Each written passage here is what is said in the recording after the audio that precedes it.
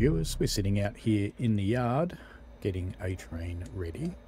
And the reason we're doing this is because one of my viewers asked a question, which is, why can't you drive with the gen fields off? So I'm just setting this locomotive up, and we're just about there. I just want to put the independent brake on so we don't roll away.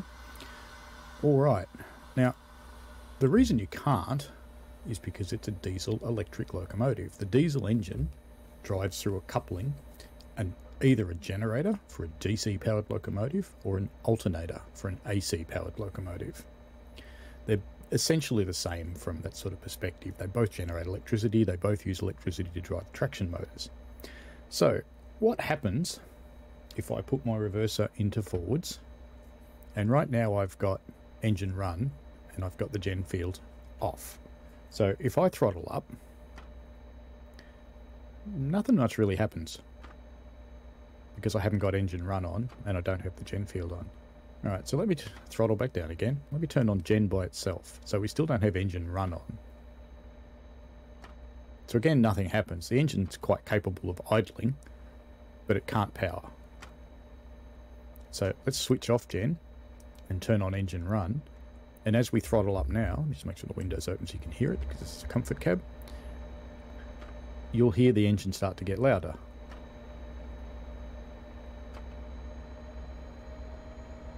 Hear the sound change?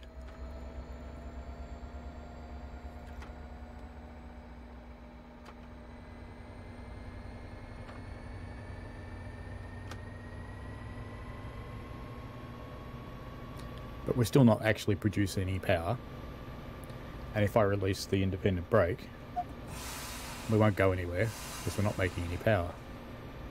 Alright, so let me take that back down to idle again.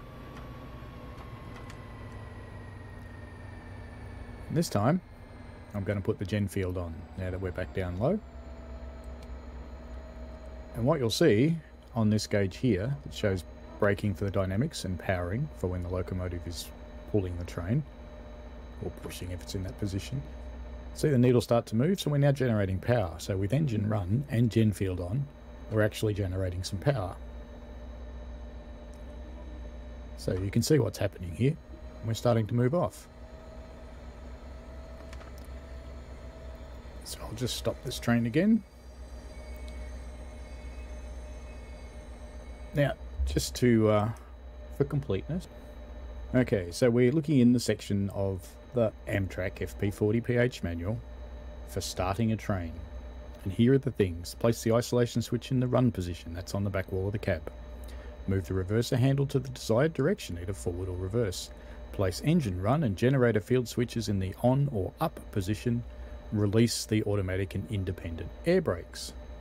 Open the throttle one notch every few seconds as follows. To number one, loading will stop at a specific low value. You might have noticed the power meter didn't go up very much. Or to two or three or higher, depending on the demand that you need. After you've stretched the train out, advance the throttle as desired. So, just to cover things, this is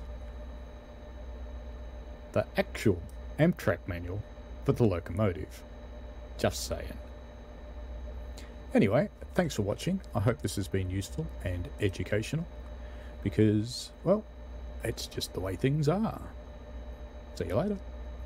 Thanks for watching, folks. I hope you enjoyed it. I always like to get your feedback in the form of likes and comments because they help me understand what you want. Give the channel a subscribe and click on the tinkly things so you don't miss out on any new stuff. And thanks for your ongoing support. And please, be safe out there.